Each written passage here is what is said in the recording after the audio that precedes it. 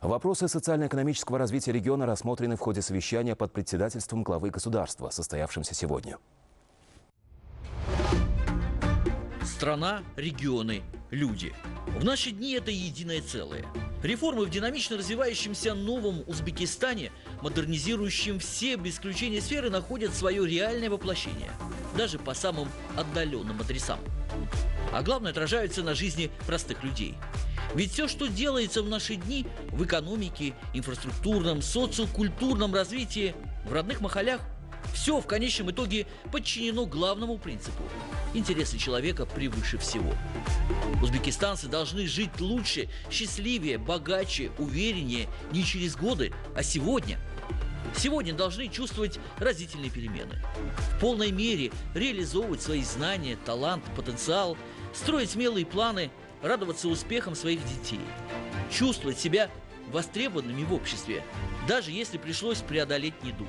Будучи человеком с особыми потребностями, видеть, как тебя поддерживают, подставляют плечо, как направляют по жизни и создают все условия для самореализации.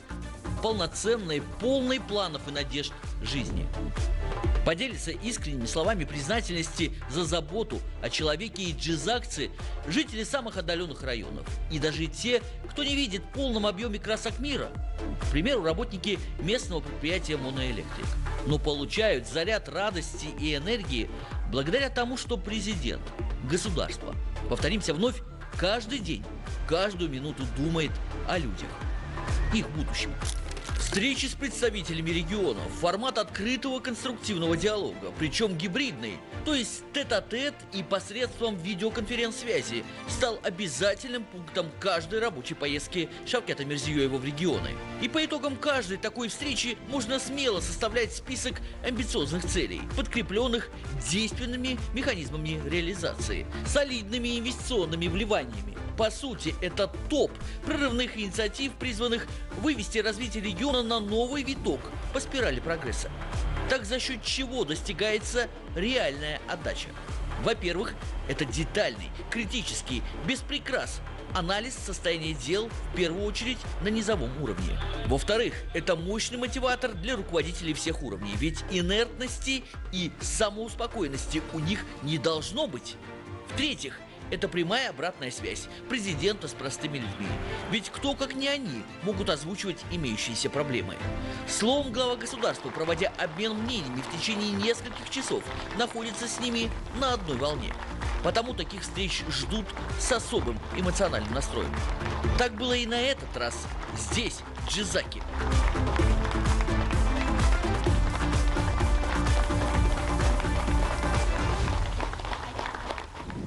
Президент Шавкат Мирзиёев особо подчеркнул, что эта встреча проходит накануне Рамазан Хаита и поздравил народ с этим светлым праздником. Отмечено, что в Джизакской области, как и в других регионах, происходят значительные изменения. За последние 7 лет в область было привлечено инвестиций на сумму 5 миллиардов долларов, что позволило открыть 2,5 тысячи новых предприятий. На них создано 45 тысяч постоянных рабочих мест. Количество предпринимателей удвоилось. Самое главное, произошел большой скачок от сельского хозяйства к промышленности. Однако существуют и неиспользованные возможности, актуальные проблемы. В некоторых районах наблюдается низкий прирост средних предприятий, способных обеспечить население стабильной работой и зарплатой. 80% промышленности области приходится на три отрасли – это автомобилестроение, текстильная промышленность, производство строительных материалов. Доля же фармацевтической, кожевенной, металлургической, мебельной, электротехнической отраслей очень мала. Объем производимой сельскохозяйственной продукции не соответствует имеющимся земельным площадям. Поэтому перед визитом представители экономического комплекса провели глубокий анализ районов и определили возможности создания 57 тысяч рабочих мест в области. В целом, в 13 районах Джизака было выявлено 100 экономических возможностей и резервов. На совещании эти возможности были рассмотрены на примере Зарбдорского района. Главное, что государство поручил выделить на их реализацию 130 миллиардов суммов. Например, за счет решения проблем, поднятых представителями бизнеса, в районе можно создать 5 тысяч рабочих мест. Коммерческие банки помогут местным предпринимателям расширить деятельность. Мощности предприятия Зарбдор Текстиль будут увеличены. Фермерское хозяйство Ривочдавр планирует выращивать дыни на выделенных населению землях и осуществлять их переработку, что позволит экспортировать продукцию на сумму 28 миллионов долларов. Глава государства озвучил ряд инициатив по развитию экономики Джизакской области. В регионе большие возможности в сельском хозяйстве, но не хватает продукции для экспорта. Поэтому будет внедрена новая система увеличения заготовки сырья. В частности, банки пригласят предпринимателей и лидеров 309 махалей и предоставят населению финансовый пакет для заработка на собственном участке. Банки будут выделять предпринимателям кредиты до полутора миллиардов суммов на срок до трех лет. Гранты до 1 миллиарда суммов из бюджета для привлечения агрономов, обучения, организации сбора, хранения и сушки продукции в Махале, а также кредиты в рамках программ «Семейное предпринимательство» и «Первый шаг в бизнес». В районах будет выбрано по одному цельному контуру для выращивания одного вида культур на общей площади 500 гектаров. На менее плодородных землях, где урожайность ниже 16 центнеров, будут выделены лоты для выращивания овощей и фруктов. Это позволит в течение двух лет удвоить объем производства фруктов и овощей в области до 3 миллионов тонн, а затем и до 5 миллионов, что увеличит в 2-3 раза возможности переработки и экспорта. В области есть возможности для развития пчеловодства на основе надомничества. Например, размещение ульев на землях лесного хозяйства позволит обеспечить работой тысячу семей, получить дополнительный доход в 50 миллиардов суммов и экспортировать продукцию на 2 миллиона долларов. Поэтому в Зааминском районе будет создан центр пчеловодства, налажено производство ульев и оборудование, упаковка и экспорт меда. Поддержано предложение по созданию на багарных землях кластера с полным циклом выращивания, сушки, упаковки и холодильному хранению белого лука в Янгиабадском районе. В области прозвучало на встрече имеется большой потенциал для развития животноводства. Инвесторы поставили цель за счет инвестиций в 28 миллионов долларов – перерабатывать 20 тысяч тонн молока и 5 тысяч тонн мяса в год, разводить крупный рогатый скот породы ангус в 11 тысячах домохозяйств в Заамине, Зарбдоре и Янгиабаде, а также наладить систему закупок. Ответственным лицам поручено до конца года создать по одному крупному животноводческому кластеру в Шарафрашидовском и Зардорском районах.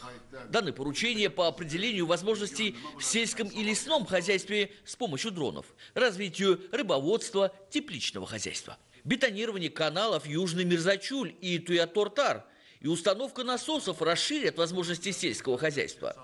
Руководителям дано поручение реализовать трехлетнюю программу в этом направлении – Имеется немало ресурсов и для развития промышленности.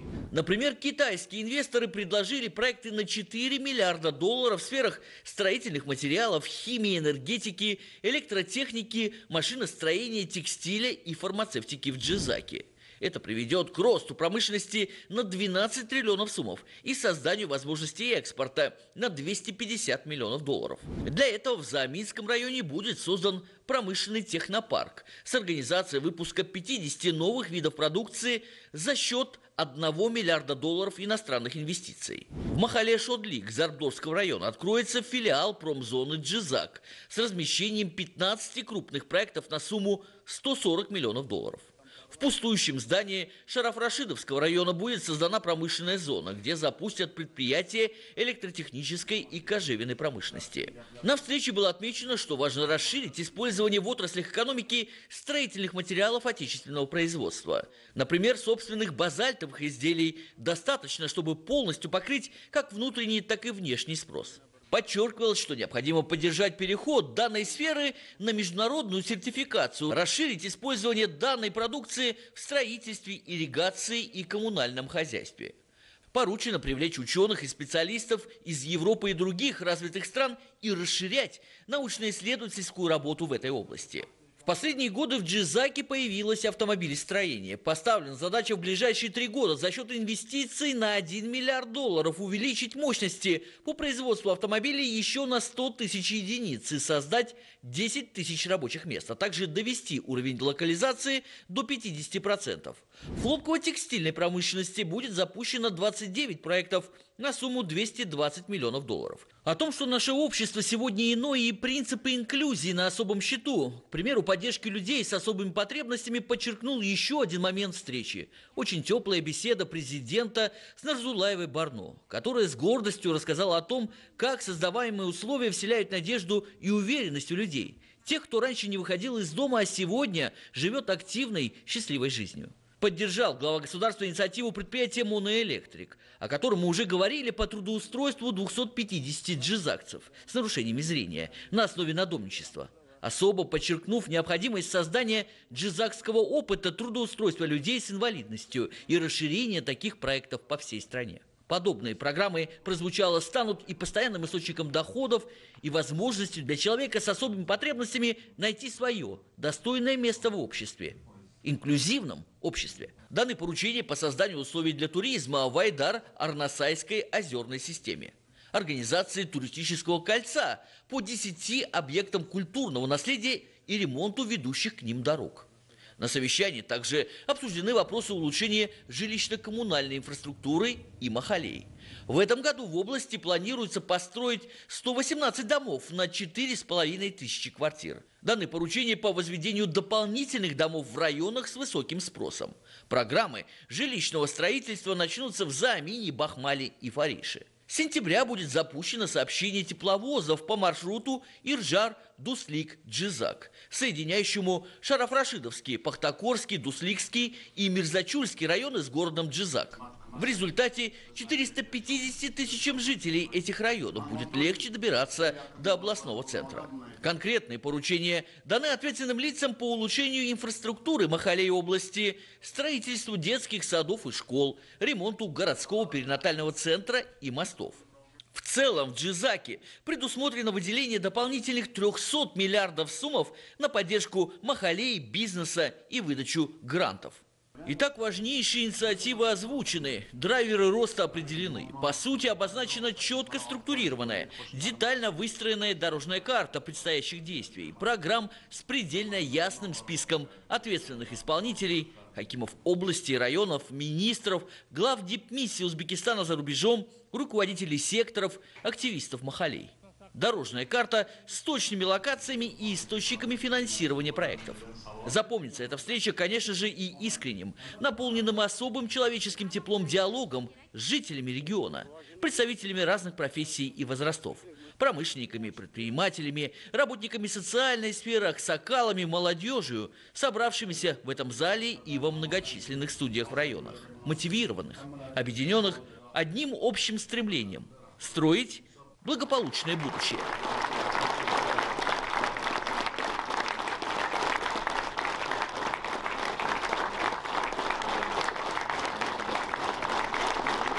bugun ulug'ayyom kunlari muhtaram prezidentimiz bilan uchrashish Сегодня в преддверии священного праздника Хаид мы увиделись с нашим президентом. Он нас поздравил с наступающим праздником. Он пришел не с пустыми словами или обещаниями. Он пришел с конкретными финансами. Он озвучил свой твердый принцип. Народ Узбекистана должен жить счастливо здесь и сейчас. Завтра, может быть, уже поздно. Этой системе и принципу он учит и других руководителей. Он говорит, что всем нам надо проснуться а руководителям изучать реальное положение дел на местах, а не сидя у себя в кабинете, где было видно, что сами банкиры сами сейчас приходят к тебе домой, предлагают бизнес-проекты, пытаются улучшить свою жизнь. Все это результаты адресной работы, на котором акцентирует внимание глава государства. bugun zardor tumanida jizzax viloyatidagi ijtimoiy iqtisodiy rivojlantirish masalalari Глава государства проанализировал работу, которую еще предстоит сделать на примере Зарбдарского района. Президент отметил положительную тенденцию роста экспортных показателей региона. Руководитель страны сказал, что это один из явных показателей того, что наш район сделал большой шаг от сельского хозяйства к промышленности за эти пять лет. Но этого недостаточно. Глава государства сегодня нам указал на нераскрытый потенциал Джизакской области. Например, он отметил, что приусадебное хозяйство используется не в полной мере. На сегодняшний день перед банковским сектором поставлена задача, чтобы они изучили возможности каждой семьи и помогли повысить их существующий доход. Для этого было решено их обучить конкретному ремеслу, выделить кредиты для бизнеса. И специально для нашей области президент выделил 60 миллиардов сумму грантовых средств. Сегодня, услышав новые цели, широкая общественность и активисты Махале определили четкие планы для себя. Мы услышали много нового в ходе совещания руководителя страны в рамках визита в нашу область. Указания главы государства, банкам и министерствам по улучшению социальной жизни населения, мне кажется, смотивировали каждого предпринимателя. Все цепочки производства, вплоть до логистики, были затронуты президентом и поставлены задачи. Я считаю, что вдохновившись этими преобразованиями, мы должны усердно трудиться. Для предпринимателей были созданы большие возможности. Это и кредитование по низким процентным ставкам, продление льготного периода, также выделяются огромные гранты. Ранее такого не было. Prezidentimiz bilan jonli e, bevosita muloqotda bo'lganimdan e, juda ham e, ich ichimdan faxrga quvonchga to'ldim Я очень счастлива, что сегодня была в числе тех, кто беседовал с президентом, и горжусь этим. Очень впечатлена выступлением главы государства, потому как он очень много останавливался на теме обеспечения работы лиц с инвалидностью. И президент сказал, что не безразличен и к моему творчеству, сказал, что осведомлен об этом. Конечно, это очень воодушевило меня и мою семью. Узнав, что я хочу открыть свою школу ремесленничества, наш президент сказал, что лично поможет мне в этом, поддержал меня. В этой школе я буду вместе со своими учениками производить несколько видов продукции. Она главным образом предназначена для гостей Узбекистана. И тем самым хочу внести свой вклад в развитие туризма. Более того, руководитель страны отметил, что будет оказано содействие в ее реализации. И это огромная мотивация для меня. После таких слов я буду увеличивать и виды, и объемы своей продукции. И мои ученики, которые также имеют инвалидность, получат возможность получать еще больше доходов. Мы очень благодарны за такое внимание и поддержку, за возможности. Banklarga topshiriq bo'ldiki, Банкам было дано поручение по работе с самым нижним звеном Махали в области проведения изучений по принципу Хондомбай, Фухоробай в различных направлениях. Также были даны задачи, в рамках которых из 309 Махалей необходимо выбрать крупных лидеров, предпринимателей и предоставить им предложения для развития надомного труда. Чем должны заниматься лидеры-предприниматели? Они должны обеспечить занятостью безработных жителей Махали посредством создания условий для надомного труда. Вместе с тем, в случае, если в регионах не будут найдены лидеры-предприниматели, то банки должны будут создать для этого все соответствующие возможности и условия, а также спецпакеты. Сегодня было сказано, что будут выделяться льготные кредиты в объеме до 15 миллиардов сомов. Нужно понять одну вещь. В первую очередь, что каждая работа, проводимая посредством изучения домов в ходе подворового обхода, направлена на повышение доходов населения. В свою очередь, и граждане не должны быть безразличными к происходящим в стране изменениям и преобразованиям. Со стороны главы государства было отмечено, что если каждый руководитель, ответственное лицо, представитель Махалинской семерки или же сотрудник исполнительных органов будут с большой ответственностью относиться к поставленным задачам, то не за горами и плоды осуществляемых реформ. Я с большим вниманием слушал нашего президента на совещании, потому как глава государства поставил высокие цели перед нами. Он подробно разъяснил нам, чем должна заниматься Махалинская семерка, чем должен заниматься каждый, кто входит в нее. Глава государства подчеркнул, что все это делается для того, чтобы хорошо жил народ, чтобы росло благосостояние. Помощники хакимов, лидеры молодежи, инспектор. Приведу пример. После того, как в семерку включили налогового инспектора, 10% от 700 миллионов суммов налогов остались в моей махале. Видите как? У нас нет права на проблемы. От нас не должно исходить никаких проблем. Все условия есть. Мы должны быть все вместе с президентом, брать ответственность за выполнение всех его поручений. Мы должны работать во благо страны и народа. Ведь все это останется для молодого будущего поколения. Здесь же глава государства ознакомился с благоустроительными работами Махале Лальмыкор. Коротко пробежимся по основным данным микрорайона. Махаля относится к зеленой категории. Численность превышает 3,5 тысяч человек. Местные жители в основном занимаются земледелием и животноводством. Территория составляет чуть больше 190 гектаров. И из них 60 гектаров это домохозяйства, которые имеют свои фермерские хозяйства. Mahallalarga tashrifini kuzatib, qizg'in kuzatamiz. Мы с большим интересом наблюдаем за каждым визитом главы государства, в особенности в Махали. Он посетил и нашу Махалю. Каждый раз в ходе визитов он показывает новые векторы развития.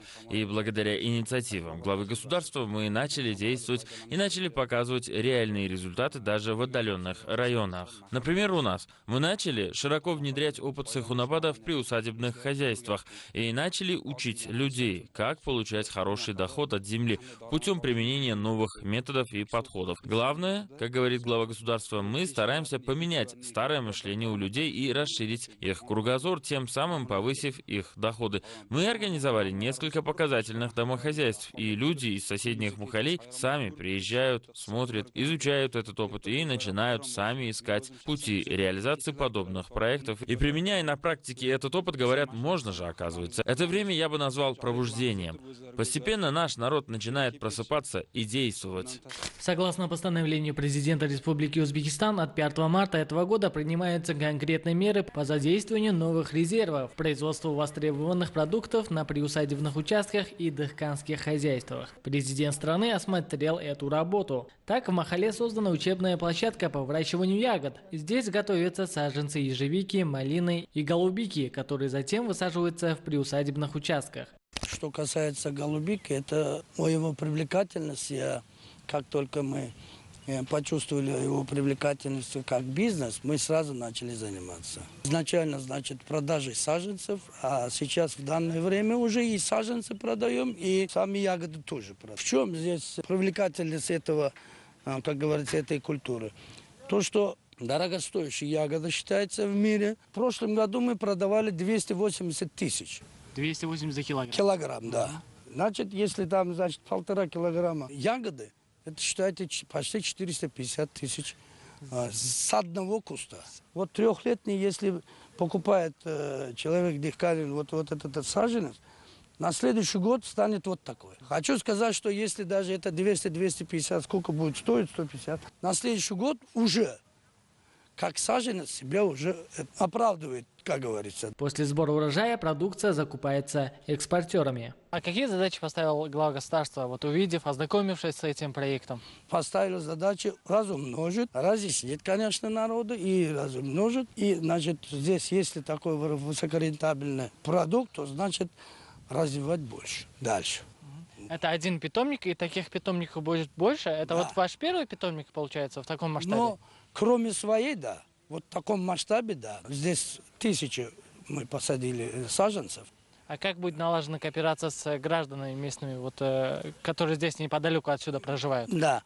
Вот это вот мы сейчас будем, местных ребят мы подключим к тому, чтобы они э, связывались с народом, с, с населением. Здесь рассчитаны и на продажу, и выращивание, поэтому будем объяснять, разъяснять, будем все контакты там им э, давать. Мы по ценам прошлого года, я же прогнозировать, допустим, всего в этом году сколько стоит не могу. Ну, примерно, наверное, так же. В прошлом году мы оптом прямо с поля продавали по 280 тысяч за килограмм. А теперь вот э, вопрос возникнет хорошо. Если 10, 15 или 50 саженцев возьмет, там урожай будет, допустим, 10, 15, там 100 килограмм, да, куда он повезет этот? В этом плане мы в обязательном порядке установим с ними тесный контакт для того, чтобы мы сами будем экспортировать. Мы будем давать саженцы, будем э, обучать их, агрономическую окажем помощь. Чем больше будет распространяться эта сеть, тем больше, значит, будем уделять на это внимание. Как мы уже сказали выше, местные жители в основном занимаются земледелием в своих приусадебных участках.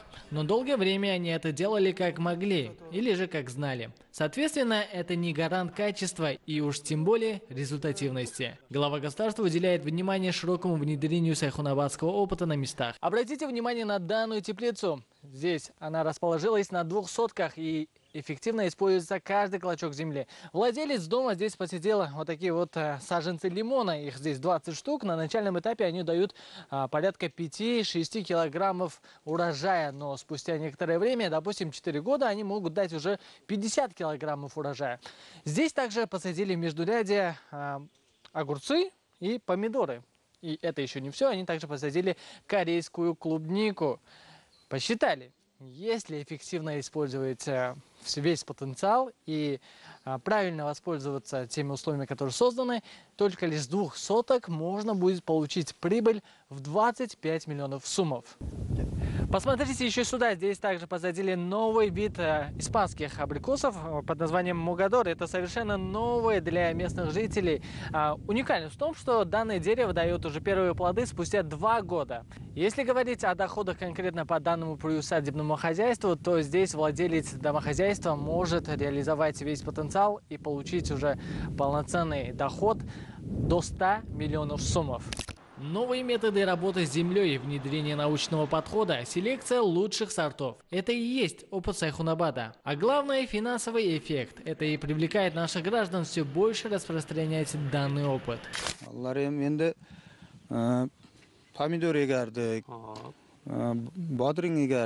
У меня здесь в распоряжении 10 соток земли. Ранее здесь выращивали только огурцы и помидоры, да и доходы были небольшие. Сейчас к нам приехали из банка с готовыми бизнес-планами и предложили несколько сценариев развития построения бизнеса. Я выбрал высадку саженцев испанского абрикоса, а также высадку лимонов в теплице. В целом мы посадили порядка 5-6 культур на 10 сотках.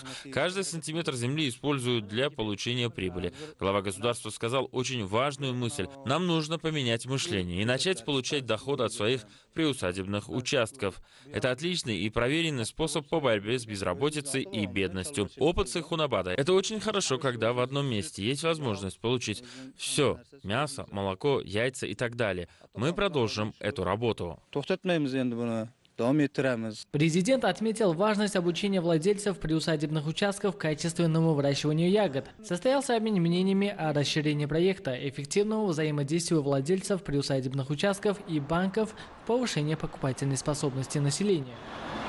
Можно, конечно, числом, но лучше качеством. Такой подход в основе развития, в том числе и животноводчества которая в последние годы растет в объемах, но пока еще не вышла на уровень интенсивного роста в плане продуктивности и производительности, на что направлена реализация, к примеру, крупного перспективного проекта в Заминском районе Джазахской области. Для организации национального сельскохозяйственного кластера Джазах Органик в рамках первого этапа из-за рубежа завезли 4000 голов крупного и более 2000 голов мелкого высокопродуктивного скота.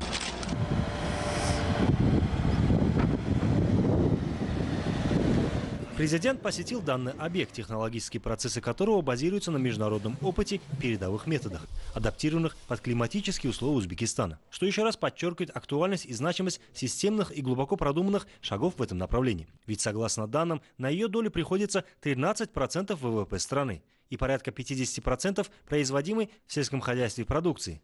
Но это еще не может полностью удовлетворить внутренний спрос. Прогнозируется, что к 2045 году производство молока и мяса в стране будет покрывать только 59% и 52% внутренних потребностей соответственно. Потому дальнейшее ускоренное развитие животноводства на основе современных подходов и решений всегда в центре пристального внимания руководителя страны. Национальный сельскохозяйственный кластер Джезах Органик, являясь ведущим производителем и поставщиком мяса на рынке республики, способна производить 5000 тонн качественного мяса. Здесь разводят завезенный из Европы и США крупнорогатый скот таких пород, как ангус, Ангус и Герефорд, а также овец австралийской породы, общая же стоимость проекта равна 200 миллионам долларов.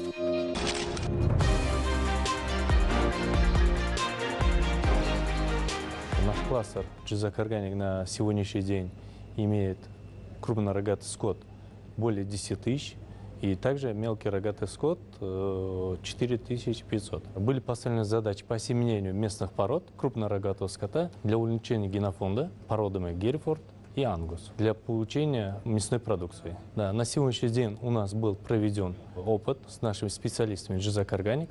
Мы закупили на местном рынке 50 коров местной породы, осеменили их Геррифордами и ангусом. Результаты показали очень себя хорошо. На данный момент у нас идет сейчас второе поколение. Бычки, привес, если у ангуса до килограмм 200, килограмм 400, то местные бычки, э, скрещенные с ангусами, они 800-700 килограмм э, привес у них есть.